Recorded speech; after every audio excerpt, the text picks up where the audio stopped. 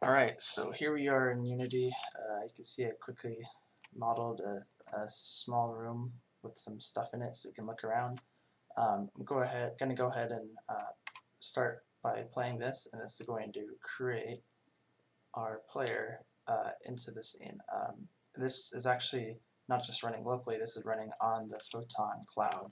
So uh, this is this has created a lobby and a room from which we can connect uh, other clients. So if I open this client up, then once it starts up, join into the room, and now you see there are uh, two avatars in there. So if I go ahead and move around here, um, whoop, closed it there. just get it out of the way like that.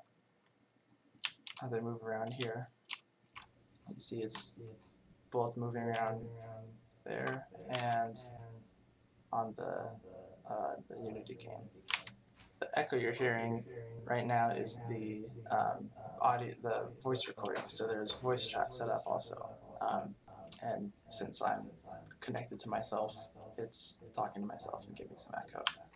Uh, now these are both running the VRTK, um, uh, what's it called? The simulator rig, which simulates a camera rig. Um, so if I go into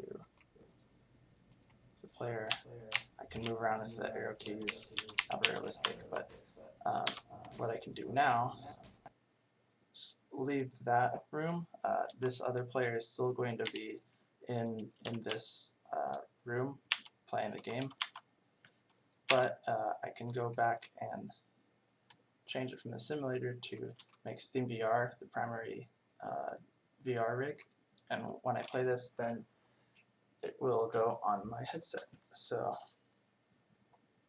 now I've joined, now I've it, joined it, in VR. VR.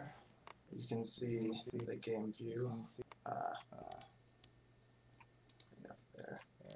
Here's my, my game view in VR. I can see the other player. If I actually click in here, I can move them into view. Is that you can see now? Right there. Yeah, quite frightening. So here's uh, the VR network avatars working with uh, Photon 1 in Unity.